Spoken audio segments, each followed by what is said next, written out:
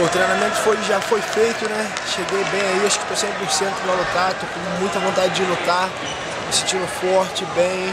Eu tô perdendo um pouquinho do peso, mas faz parte, né? E a categoria tá muito dura, cara. Tem o, pô, o Michael, que foi atual campeão, tem o Celcinho, que é o Tetra, tem o, o Lucas também. Pô, mas aí tô nessa briga aí também, treinei bastante. Fiz o treinamento correto, tô me sentindo bem e vim pra ser campeão. Tô com o apetite aí, tô com muita vontade de ser campeão.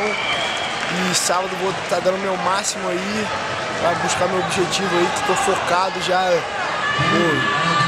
Já treinei, treino há 12 anos já que eu, que eu venho treinando aí.